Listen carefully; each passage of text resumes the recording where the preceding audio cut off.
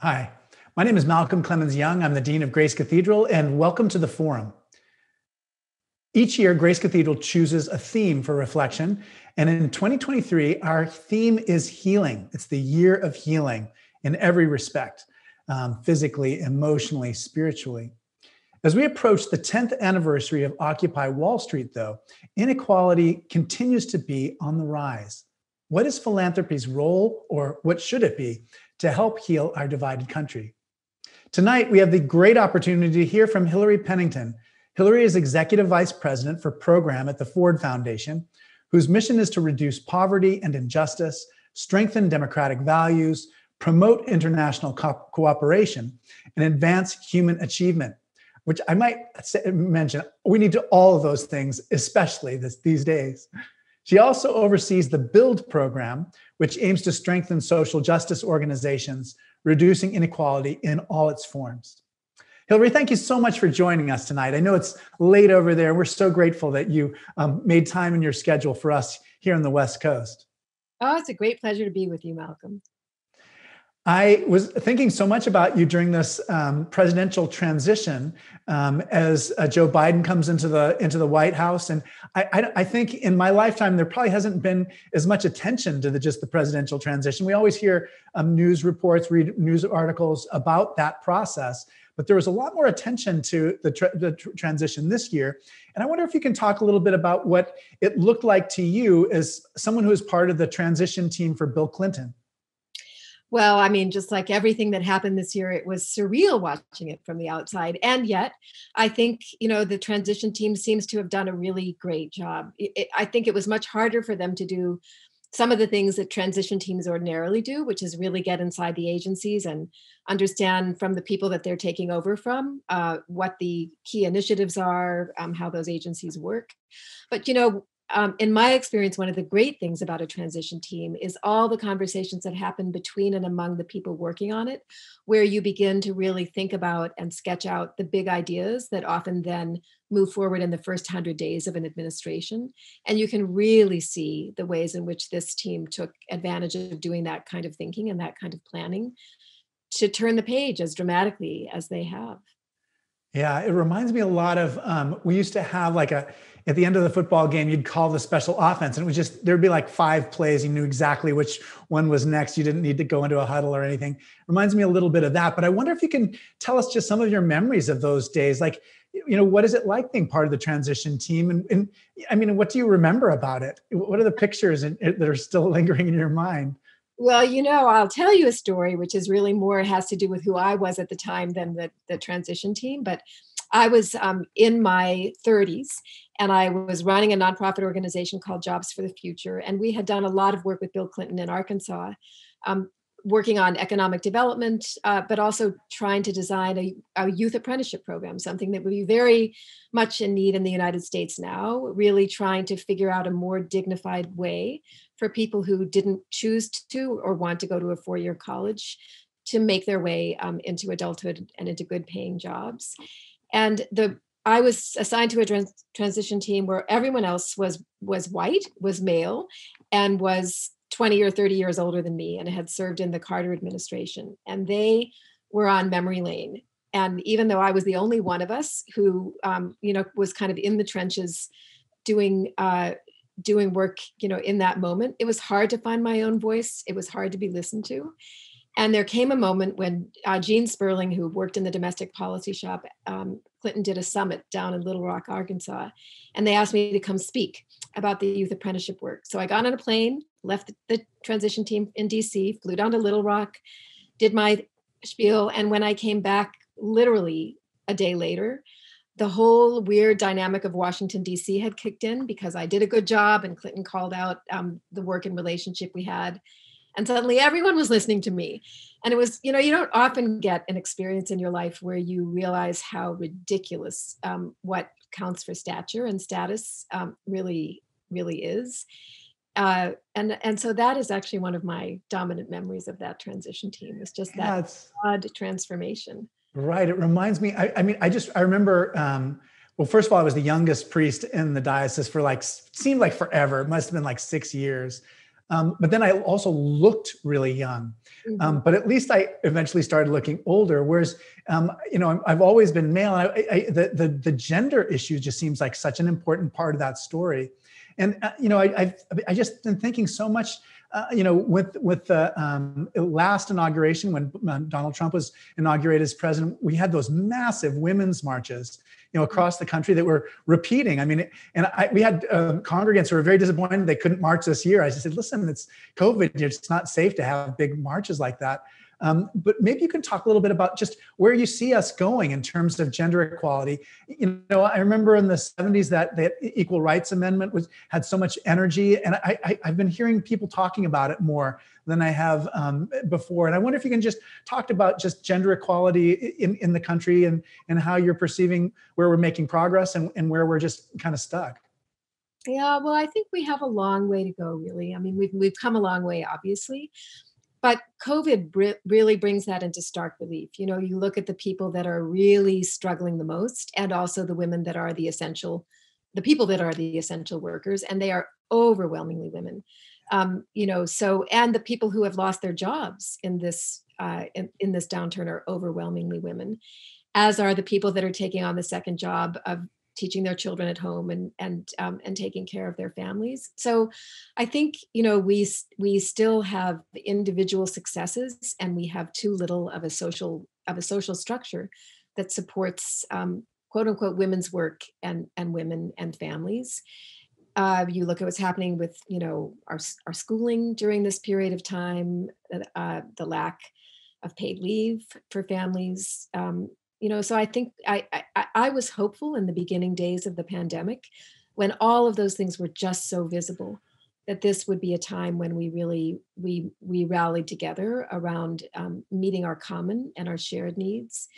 But you know that looks difficult and very politicized now. So i i would say that you know I see women leaders really at the forefront of, of many of the most exciting movements for social justice happening here in this country and around the world. If you look at movements for workers' rights, um, racial justice, the Me Too movement.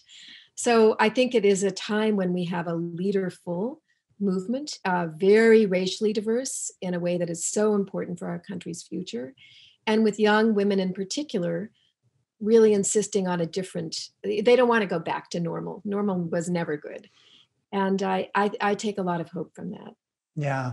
What about Kamala Harris? I mean, have you been paying much attention to her, um, her her career, and and uh, you know what kind of hope do you think um, we should have in her um, being able to draw our attention to these issues and really make um, make meaningful change? Well, I think it's it's not it's not all up to her. Um, I think people, you know, put an enormous. She she is obviously in substantively in reality an enormously important figure the highest ranking elected woman ever in our country's history. Um, and she also can't do it all uh, do it all herself. So i hope we will um, not make the mistake of turning her into sort of an icon and res- expecting un, um, unrealistic things for her from her. But i think she is enormously capable and accomplished. She has an incredible career which you and your your congregation in California probably know uh, much more in detail than I, but I think that she will be a really important substantive leader. I hope Biden will give her, you know, kind of her own lane and some important kinds of assignments that she can take and lead.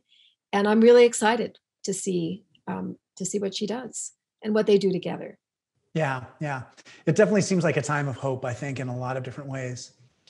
Maybe you can talk a little bit about the Ford Foundation. You know, I was um, I, I, was a student at Harvard Divinity School, and I think Connie Buchanan went to the, the Ford Foundation. Is that right? Yes, yes. Yeah. So, I mean, she's my main association with the Ford Foundation, and uh, so all her virtues and all her gifts, I just associate them with Ford Foundation. But maybe you can tell us a little bit about how it came into being, and then just you know um, how it's evolved over time and then maybe some of the um, main focus of, of, of the foundation these days. Well those those years uh, of connie were actually really glory days um, in the history of the ford foundation. It was a time when we um, funded really the, the creation of many many different kinds of fields. So a feminist religious studies kind of field a lot of work on on area studies women's studies um, african american studies you know, the foundation really set up an infrastructure for knowledge generation that continues um, obviously on to this day in American universities. But Ford was founded after the Cold War um, by Henry Ford of the Ford Motor Company with a gift of stock um, from that company. And he was visionary from the beginning because he wanted it to be an institution that took on the big challenges of an emerging global order you know a new global order as you read when out when you read our mission statement. And very quickly they moved the foundation from detroit to new york city. They created an independent board. Um, they did not mean it to be you know part of the company or part of the family. And those were really important pieces of the of the foundation's legacy. We are 80 years old now in a rapidly changing landscape um, of philanthropy you know so a lot of the new um, wealth that's come into the sector in recent years in the past several decades since the gates foundation um, got founded you know has the ability to do things differently and also learn from you know the legacies of foundations like ours or rockefeller or carnegie. Um, and i would say that uh, there's a there's an enormous benefit to being in a place that has worked on hard issues for a long period of time. You know when i came to Ford with Darren Walker, who's our president now, which was in 2013, we took a step back and we looked at, you know, what did we feel we were doing well as an institution? And you look at all the big issues that we had worked on through our history, and you could not say we had solved any of them, you know, poverty, assets, women's rights. Uh, but what we we realized is that when you work on social justice issues, you're working on issues that have to do with the structures of power in society.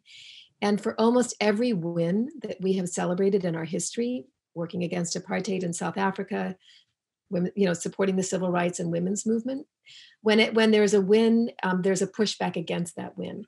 And that's why um, being able to stay in with issues for the long haul and to be able to support ideas, and individuals, in addition to models and services, is a really, really important um, way to advance social change and social justice.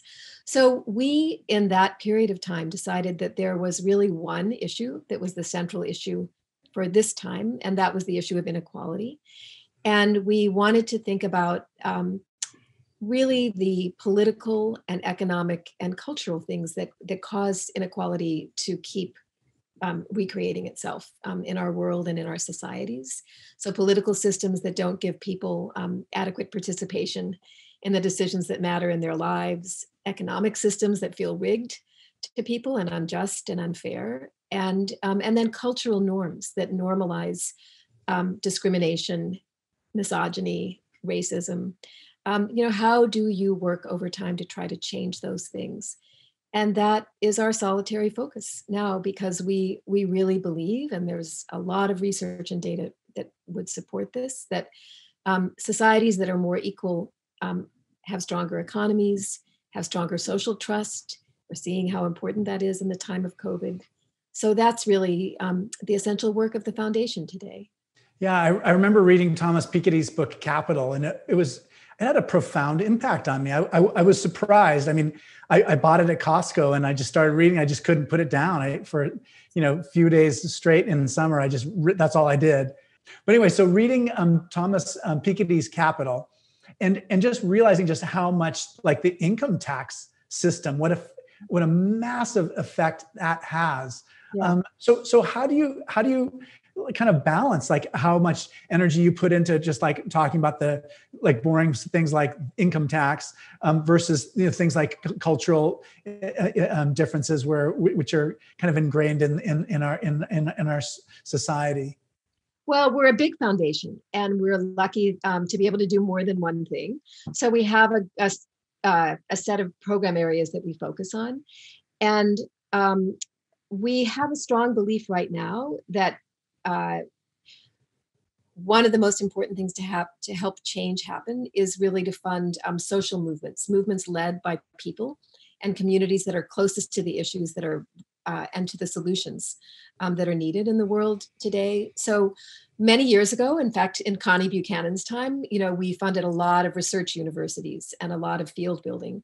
And now I would say we um, we are doing much more funding of social justice movements Um, we are also funding, um, you know, we, we are looking at long-standing um, issues that have a big impact on inequality, violence against women and girls being an example of that. Um, we're working to try to stop the shrinking space for civil society. So on things like free and fair elections here in the United States, but in other parts of, of the world where we have offices on issues like corruption and impunity. Uh, and then we are we do have a very strong focus on the arts and and creativity. We believe really really strongly that that is one way that you help build empathy and um, you help people cross divides. And then we have a new um, program area that is looking actually at technology and society and the growth of misinformation, um, in, uh, all the kinds of algorithms that are being used, the ways in which um, you know the big companies are taking data and information about us and using it um, for purposes that none of us have ever agreed to. Right, right. It basically pays to to disseminate disinformation because it's more shocking and um, more people will read it and um, and you'll sell more advertising. I mean, it's just it's a terrible thing. I'm, I'm glad you're working on it. Um, here in Silicon Valley, uh, every we don't we're not having too many dinner conversations these days, or or, or but when I do see people out in the world and we're socially distanced and I'm on a walk, that's that's the sort of thing we're talking a lot about these days for sure. You know, um, one of the things I, I, think just a lot about is just um, the Occupy movement, um, Occupy Wall Street, and just kind of what like lasting effect it's having on us and and how it's kind of changed people's orientation to the world. And um, I, I, wonder if you can talk a little bit about that. It's just it was like a it's, it's like you say it's a very practical movement that um, raises people's attention to inequality.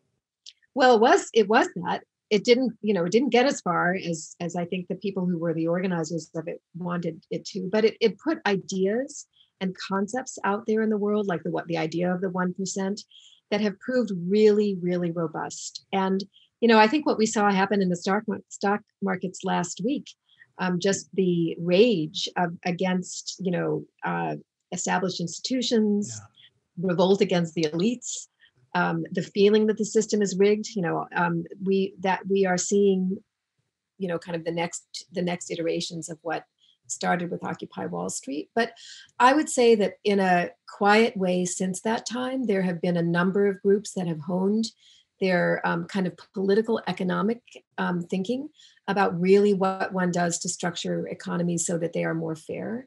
How do you really you know rethink capitalism to have something that could be an inclusive capitalism that won't implode because of the degrees of inequality um, associated with it. And there are now Heather Boushey, who's just gone into um, the administ- into the Biden administration, is a good example where she was a young upstart scholar and she created something called the you know Center for Sustainable Economies, and um, and put together a network of, of graduate students and young economists across the country who are rethinking economic models and challenging you know some of the old um, you know kind of restore uh, ways of thinking. And then similarly um, you know pe- activists networking with each other and beginning to really have the discipline of, of sharing you know messages and information and coordinating together better and translating that into political action and political power. So a lot of the um, groups we saw working in georgia and and other places around the country during the election um, you know kind of grew grew out of some of the relationships that started during the occupy um, time. So I think, you know, social justice takes a long time, a long time to happen. Um, you know, usually we think 20, you know, in kind of 20 year um, time arcs between when an idea gets started and when it's really changing things on a large scale. So I think we're still in the middle of that story. Yeah, yeah, we're in the middle of a lot of stories. I, I, I, I and you know, the older I get, the more I just see how how profound things have changed. And economics is a great example. I mean, you know, the way it was taught to me is just entirely it's entirely different than what we know now. Mm-hmm. Um, and it just those days seem so naive. Like the models that we used, our understanding of human anthropology, um, how firms behave, even just like abilities to just use massive modeling. I mean um, yeah. it, it's the field has changed profoundly, and I'm I'm glad that um, young scholars are taking up those questions of inequality because they do have profound impact on you know whether people feel like they have a share in the society. Yeah. I, I, love the way that you talk about um, just kind of like misinformation, the way it kind of disinformation can kind of um, set us at, at, odds with one another. I wonder if you can talk a little bit more about just about how philanthropy um, actually kind of brings people together, it, how it heals divides um, between you know people in different classes.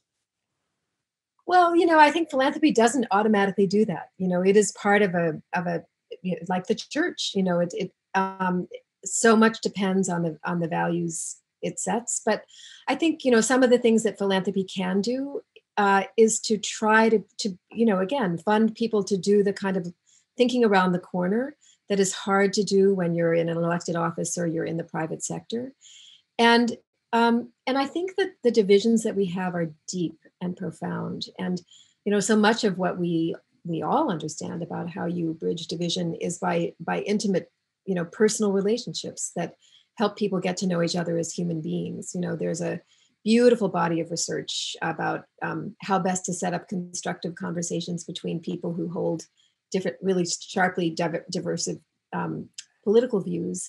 And if you prime the conversation to get them to start talking with each other about a shared human experience the loss of a child, you know, an experience of joy, and then you move into the more um, divisive things. They they have an ability to hold it because you've activated what they have in common.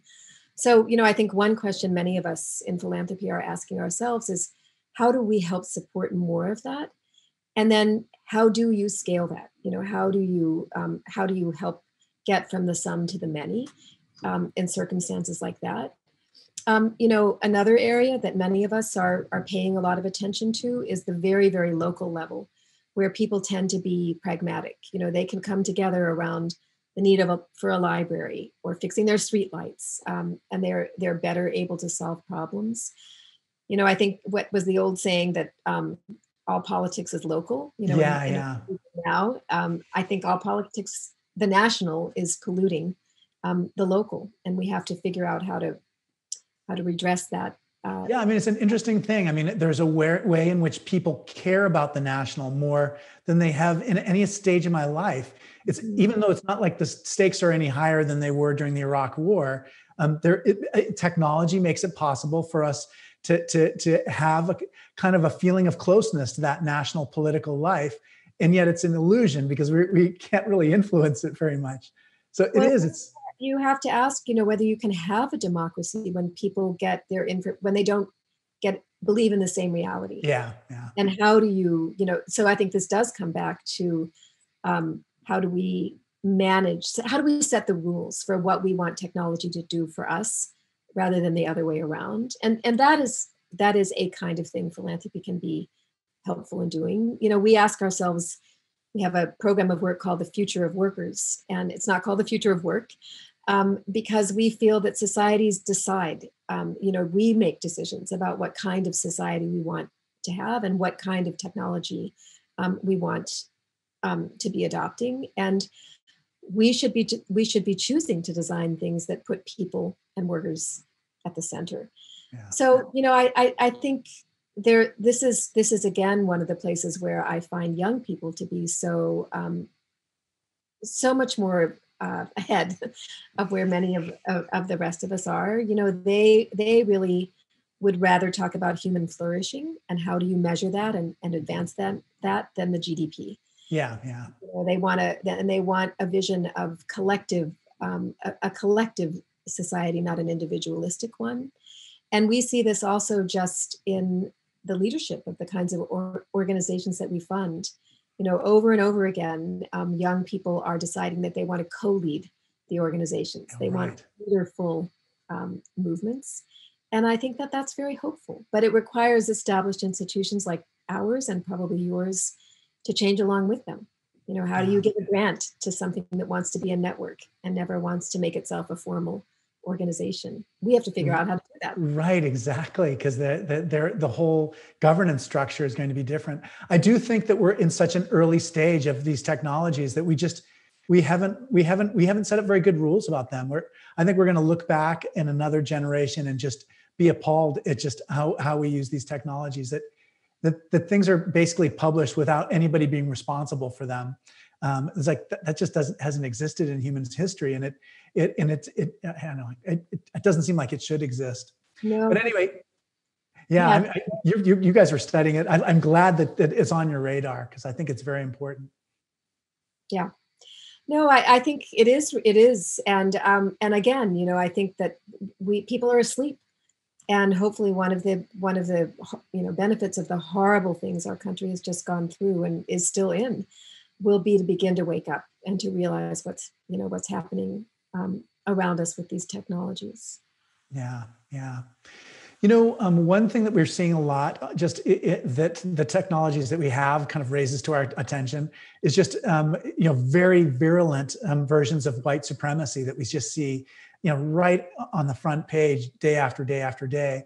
But I wonder if you can just talk about just kind of like white supremacy and just kind of like the world of philanthropy, because I, you know, I know it's something that you must have thought about, um, and I'm just curious, you know, what you have to say about that that element of of philanthropy. Well, philanthropy is um, a creature of inequality. That's why we have the money that we have. Um, and, you know, Edgar Villanueva wrote a wonderful book called Decolonizing Wealth, which is a yeah. strong critique of philanthropy um, and a beautiful one in many ways because he talks about uh, all of the, you know, there's a very, very uneven power dynamic between a foundation that gets to decide and the people who come to the foundation seeking resources. And it very often privileges people who have privilege already. So we at Ford, for example, because we're very focused on um, issues of race and um, and racism, have just made the decision that um, until we decide just to start supporting organizations that are led by people of color, it doesn't mean other organizations aren't also good or equally deserving, but we have made an affirmative choice to really try to put our resources behind under resourced leaders, uh, generally leaders of color. You know, they organizations run by them receive less than seven percent of all philanthropic dollars um, in the country. So the inequities just compound themselves, and you have to find a time where you decide you're just going to, you know, you're going to stop. You're going to you're going to figure out how to help those organizations get stronger, and that is actually part of what our build program is about. You know, giving um, five year general support um, to organizations like that to help make them stronger and more sustainable and more durable. But I think you know a lot of leaders of those organizations um, are tired, and you know they come to the work because they have had an experience of injustice, whether it's racial injustice or any other kind, and we ask them to do really hard work, and we don't. Um, foundations generally don't fund them in ways that make their, their, their organization strong. So, you know, COVID has been an enormous wake up call for philanthropy. We've had to ask ourselves, you know, can't we figure out how to get how to approve a grant faster? You know, can't we figure out how to fund more organizations that are closer to the the communities that we um, are trying to serve? Why do we have to give them one year project grants and think that and tell them that they can't spend their money on overhead and think you know they're going to be able to solve the world's greatest and hardest problems. So um, there's a lot of work for philanthropy yeah you know it's interesting. I, I, we one of our trustees is a friend of mine. Um, he's part of our yoga community a wonderful person and his name is stuart burden and he's he works in the world of philanthropy and he was just saying that just things are happening in a lot more expeditiously than they did before. Like before covid there'd just be a lot more kind of like hurdles and hoops that you had to jump through. And and i was wondering if that was something that you're seeing also or and just what other other things that are different uh, in covid in philanthropy? Yeah well one yes i am seeing a lot of that. And uh, actually there are there's a group of practices that um, ford and others um, tried to put together. And we um, we we asked foundations to make a pledge to adopt those practices in this time. Just be much more flexible about their um, their funding uh, let grantees tell them if they need extensions, make the grants quicker. Uh, and it's a pledge that is on the Council on Foundations website. And over 800 foundations have signed on to that pledge wow. and are actually, you know, changing their practices. And I think the question is what you you and your friend have asked, which is why can't we keep doing that after COVID? And and will we be willing um, to keep doing it after COVID? And I think that's that's the important question. Yeah, we were we talk about that so much at Grace Cathedral. Just um, you know, what's going to be next? Because it will. You've already said this once. Uh, it's not going to be what it was before. Um, we're all, we're always moving forward, and so what will what will it be like in six months? And at Grace Cathedral, we're going to try to keep a lot of the people uh, online. We've had a lot, huge engagement online from people all around the world. We're going to try to hold on to those people and provide something for those people at the same time that we open things up. So it's we're going to be committed to have almost having two different audiences: the people who are actually in the building and the yeah. people who connect with us online. And I can imagine you're going to be things are going to be just equal. It's going to be a tectonic shift for for you too in terms of you know how you do day to day business um, when we return to, to something that's a little bit more normal. Yes, and I think you know we also know that at the same time societies actually tend to go back to normal. They they want to go back to normal pretty fast. Yeah. And so what people saw as possible or necessary in a moment of a crisis, they can easily forget and, and lose hold of. So I, I hope, you know, faith institutions and philanthropy and um, you know, all of us can kind of keep people, you know, we we can be better. We can do better um, we have been figuring out how to do that in really hard times. So how do we hold on to that? You know, yeah. as things begin to get better. Yeah, but I really can imagine, you know, when I'm retired and I'm living in a rural place, being able to connect to Grace Cathedral every day for morning prayer online and just how sustaining that'll be. So there is a way in which there's like a, a vision of something that could really could yes. really help people yes it's a very it's very democratizing. I think that's been true for a lot of arts organizations even performing arts organizations. You know the miami um, city ballet did a beautiful thing. They they had their dancers do the nutcracker outside in the community and they, they sold the first sort of round of tickets to essential workers they gave them to essential workers and their families. So all kinds of people who would have never seen that ballet um, were able to see it and access it. And i think that's that's part of what I think you're saying is, you know, there, there, we've learned a lot about how to democratize access to uh, being together. Yeah, yeah, no, it's really true, and I'm I'm really grateful for it because I, I always did. Uh, just growing up with like in the vicinity of Grace Cathedral, it, we live about 90 miles away from here, and um, and so we couldn't. It's not like we could come every Sunday. It's not like we could really be connected to it. But now, if you live 90 miles away from Grace Cathedral, you can be really connected to it. Mm-hmm. I yeah, wonder if you could talk um, a little bit about um, Episcopal Divinity School and just your experience there. I, um, I, I, absolutely like pretty much the worst thing that happened in my adult life, um, what, which didn't actually happen to me, was you know Episcopal Divinity School basically stopping operations in Cambridge and moving um, to Union Seminary. I, I I was heartbroken. I preached a sermon about it even, and everybody afterwards felt like they had to give me like pastoral care because um, something I loved so much was gone. But I wonder if you can talk a little bit about what you learned there and just kind of like what religious studies um, teaches you in terms of just uh, being a productive person and, and, and doing ministry like the ministry that you're doing now. Oh, I learned so much there. I was there when it was still, um, you know, in Cambridge, uh, in Massachusetts. And I went there when I was 50. I went there after I had led an organization for, you know, 20, 25 years. And it was an organization that was re- focused on improving educational opportunity and work opportunity for low income young people and adults. And we had worked so hard always to take, you know, to establish the evidence base for make, you know, why uh, this was the right thing to do. And, you know, what EDS gave me was the chance to turn into values, you know, what people, um, what people believe can be possible and should be possible in a society. And, it had a very strong focus on liberation theology, as you know, and also a much more interpretive approach to religion. You know that that um, not a fundamentalist um, kind of approach. And for me, that was really, really valuable. I had a lot of issues about Christianity that I'd never taken the time to sort of work through for myself, and it, it gave me space to do that. And I went from there to my work in philanthropy. Not it wasn't my plan, um, it just happened uh, it happened that way. But i think that there is a lot about philanthropy that's that is very um, very spiritual work. You know it is about aspirations. It is also about um, humility. You know people in foundations have a, an enormous amount of power. And most of what they do is to say no uh, to other people's you know wonderful ideas and deep need and that is a um, I always try to um, think about that in a pastoral way uh, and understand what is on the other side of those kinds of requests. I feel like I have an obligation to do that. So I was very, very um, just incredibly lucky to have time in that institution. And uh, it was a really special place. you know, one thing about it, um, Malcolm, I don't know if you ever took classes there, but they had a discipline that you had to do um, when you wrote every single paper or you um, read any text. You had to situate yourself first in relation to that text. You know, I had to think I am a white right. woman, you know, with a certain kind of um, background, and I am reading this text, but it is but it is through um, my life experience. And I, you know, I had had great educational opportunities in my life before that, but I was always able to hide um, in my intellect. And I, I, I think that was another thing I would say was, um, you know, deeply. I, I took a lot from that.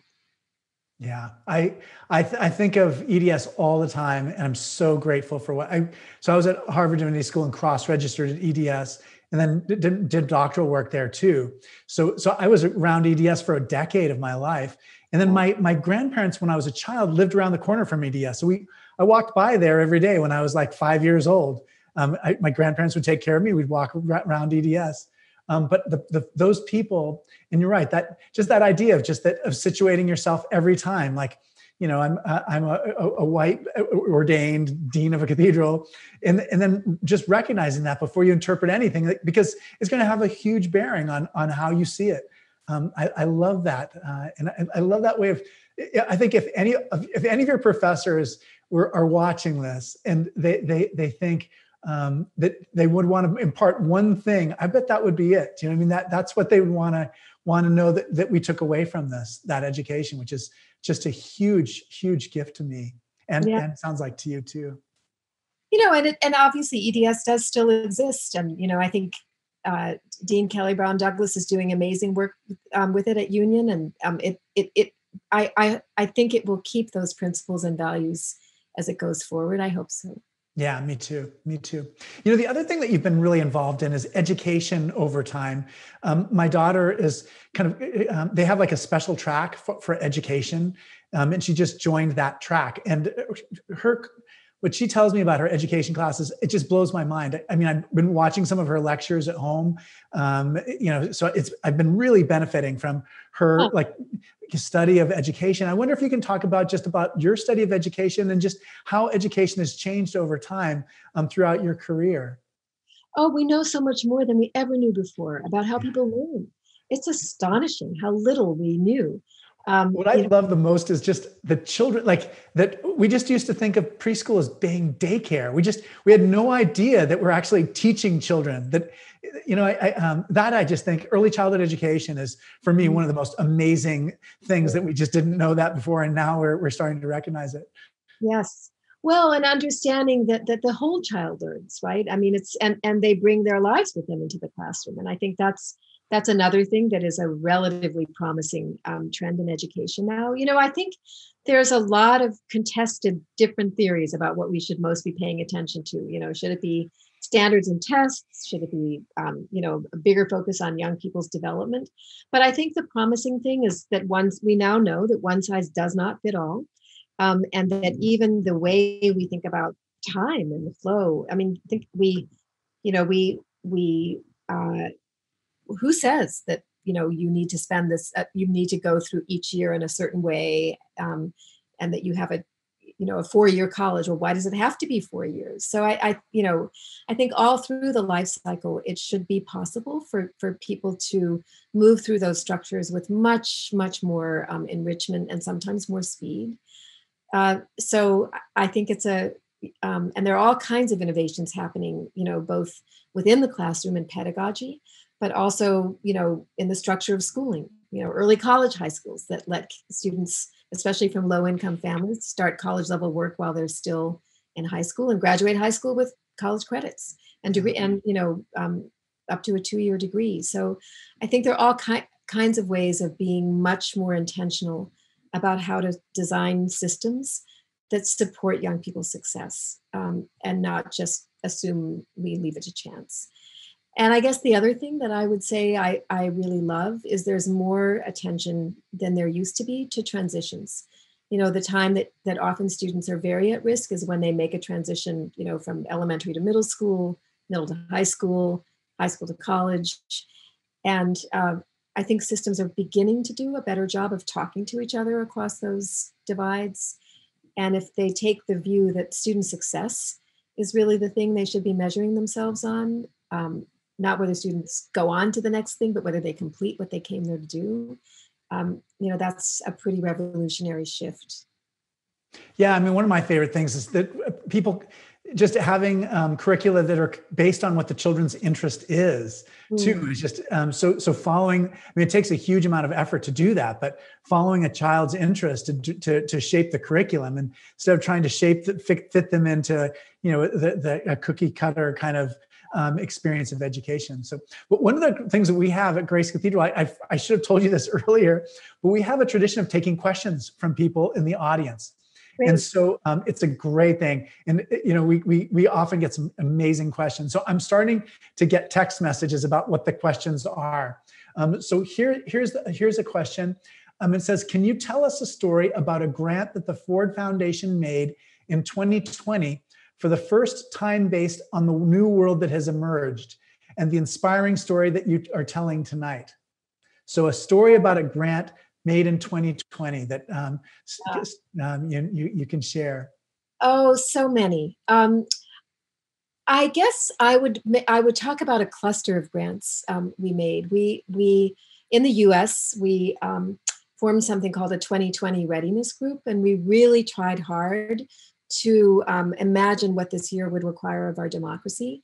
And we invested in things with groups of grantees that serve them all. So um, we they they worked on um, a set of scenario planning and they actually those scenarios actually forecast multiple different kinds of outcomes of the election including exactly the ones that happened and so a whole you know hundreds of nonprofit um, groups were um, not surprised but prepared for when that happened mm. and were able to coalesce to really try to help make sure that the country moved forward um, in a in a very difficult time. Um, I, am I'm, I'm so glad you said that. I, I had a friend um, who's a judge who was talking to me in, in September, August, just about legal cases that were likely to come up challenging the election. And it, I, I think it was much less unsettling to me what happened between election day and and you know the inauguration day. It, it I was much less felt much less unsettled than I would have if I hadn't had that conversation. Mm-hmm. Mm-hmm yeah no i i think that's i think that that's right um, so you know those those kinds of grants uh, many many grants to um, artists another grant is to a, a, cluster of organizations that are um, trying to create a, a, sort of archive of stories from people on the border really capturing stories of this time um, as this country works its way through to a hopefully better place about how we're going to be um, on the topic of immigration uh, and making um, and we've also funded you know lots of really um, important work by artists including um, a lot of support for artists um, with disabilities who are doing really beautiful powerful work. So many many uh, great stories of grants. I'll keep thinking as we go. I yeah, yeah, no, I love those examples are, are wonderful. It gives you a, a, snapshot of just some of the things that you're thinking about. I'm, I'm so glad that, you know, that those democracy project is just hugely important. Um, uh, here's, another, another, here's another great. Uh, oh yeah.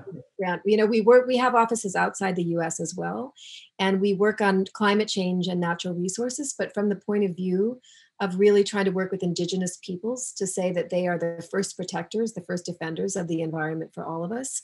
So we have worked with um, with indigenous peoples across Latin America and in other parts of the world, Indonesia and elsewhere. And when um, when Greta was here uh, at the UN, I guess this would have been in at the end of last year, 2019. But you may remember um, indigenous leaders were with her and those were Ford grantees, and um, they would have never been at those tables, you know, without those kinds of grants. Um, and their voices are so so important for the kinds of issues that all of us are, you know, need to pay paying attention to. Yeah, I remember Native Hawaiian elders talking about geothermal power in the '80s, and um, just being just so moved by the the power of their arguments and just the perspective that they came gave me on on you know what's at stake when we when we when we engage those kinds of technologies i feel the same way just about the the um, you know the the, the Mauna Loa um, um, telescope projects in Hawaii too. It just it's a chance for the whole world to just to to stop and and and and and think a little bit more carefully about what we're doing to the planet and what the future is going to be if we keep on this trajectory. Yeah. Here's another question.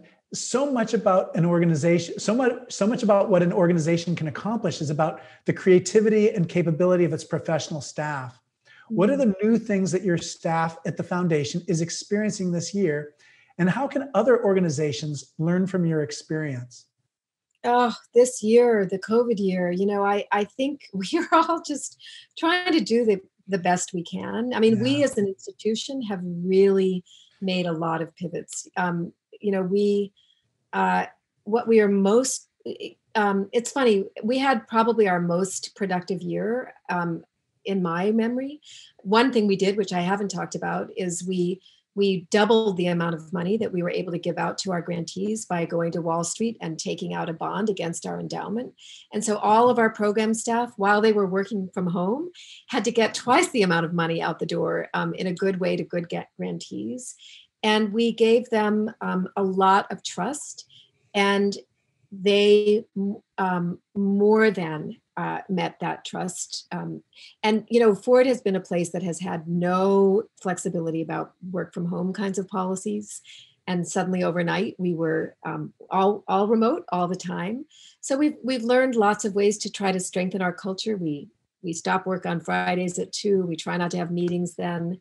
Um, I'm sure as many of you do, we uh, have all kinds of ways in which we're, we're um, connecting people, but our, but our program staff have spent a lot more time connecting with their grantees and that's really where they get their most powerful ideas is with the people in the fields that they support.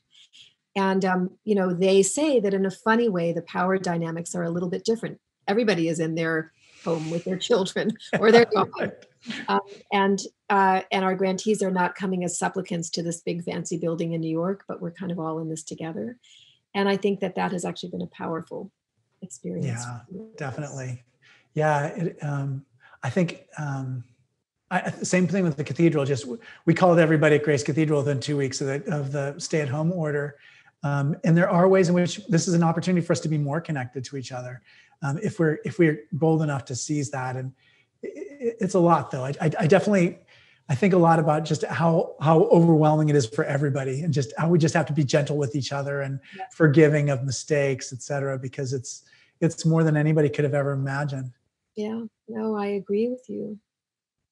Here's a great question from somebody. They said, How have you changed this year? And what is giving you hope? Oh, how have I? You know, I think how I've changed this year, I, I have always thought of myself um, as someone who thrived on stimulation. And I'm realizing that I really, um, I love having a life where I'm not on planes all the time. And I have some greater ability to uh, to think and be reflective and deeper relationships actually with the people um, that I work with than when I um, sometimes am you know just driven uh, with all the stuff that we need to get done in the office. So I think I've I've changed in becoming more reflective. I've become more reliant on my own um, spiritual practices to just get me through um, the days. Uh, and what gives me hope and gives me joy is the is the is the people that Ford gets to to fund um, and to support and to work with. You know, every day, I am just moved and blown away by their imagination and their courage, um, and their support for each other, and it really makes me hopeful for the world we have a chance to build. Yeah, I mean, in so many ways we become less disconnected, and in other ways we become more connected. It's it's such a strange thing. Is there anything that you feel like you need to do more of before we go back to back to our offices? You know i just was going back for a second sorry to the um the question before. You know i think another thing that makes me feel hopeful in a way is that i think the veneer has come off. You know i, I mean the, the, the reckoning that our society is trying to do with its its racial history. Um, we we don't know well how to talk about race or racism or white supremacy you know we we don't know how to call people into that conversation without making them feel ashamed. Um, and yet we have to do it. And i feel um, i feel hopeful in the sense that you really can't change something until it becomes real, until you're you're willing to admit that it's real, um, and that makes me um, me hopeful in an ironic uh, kind of a way. One of my um, biggest disappointments this year was I was invited to um, be on a panel with um, some local artists for the International Leadership Association. The global meeting was in San Francisco and it was supposed to be in November. And yeah, we did everything online, but um, I, I, really was looking forward to it and just terribly disappointed we couldn't do it. But I wonder um, if you can talk just a little bit about just what what you've learned about leadership and what you know about leadership and what you have to share with about leadership with younger people. Yeah, I I would say um, I mean a lot of the things I I, I think uh, when you're young you don't trust yourself as much as you should trust mm. yourself. Mm-hmm. So I I would I would say pay attention to your ways of knowing and pay attention to the things you care about because that is really the clue to the things that will make you strong and effective um, as the unique leader that you can be.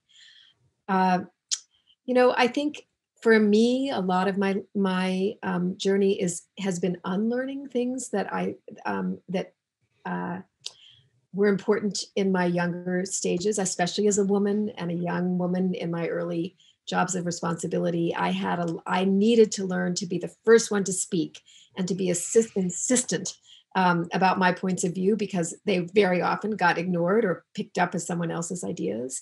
And now I'm really learning that, um, especially to lift up young leaders and um, in in the Ford Foundation and elsewhere, I need to not be the first one to speak, and I need to figure out, you know, how to pass the baton and how to make uh, space for them. And that is especially important with a lot of the young leaders of color that are coming up in Ford.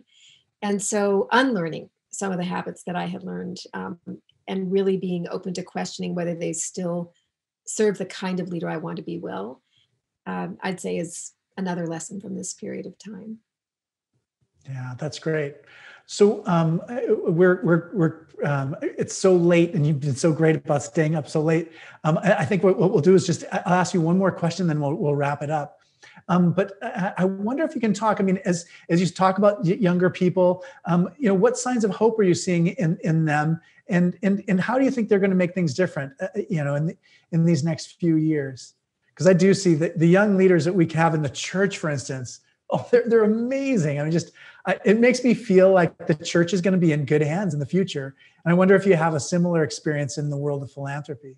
100% I, you know i think institutions like yours and ours have to remake ourselves for, the, for, for them or they will they will pass us by um, you know, I think they have a level of urgency. I think they do not believe that we can take inc- incremental and small steps on the world's biggest problems like racism and climate change and, and others.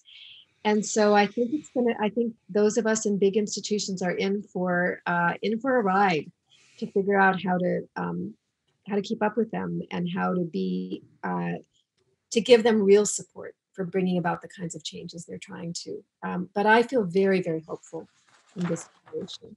Yeah, I'm, there's so much to learn from them, and I'm I'm like ready for it. I mean, they say you can't teach an old dog new tricks, and that may well be the case, but I'm definitely, as an old dog, ready for some new tricks. I'm I'm ready to learn how to, you know, do better Zoom conferences and to do things on cat film and use social media and um, do different things in the liturgy and and experience different kinds of music and worship and so I'm I'm I'm glad I'm grateful for them and for what they, they have to teach us. But I'm so grateful for you. I mean, thank you so much for your your your important ministry at the Ford Foundation and and for all the other things that you work on too. It's just your passion for for these issues is um, so infectious. I think anybody who who saw you tonight is going to um, feel like they want to make the world a better place as a result of seeing you tonight. And I'm, I'm really grateful that you stayed up so late for us. Uh, and I hope you can enjoy a little bit of the blizzard before before you go to sleep. Oh, thank you, Malcolm. It was a gift to be with you. I, I really appreciate um, the time and the conversation. Thank you so much. Yeah. Um, please um, join me next week, just a few days before Chinese New Year, when my guest will be Chinatown community leader Betty Louie. You can help us bring the art to life at Grace with a gift today to the forum.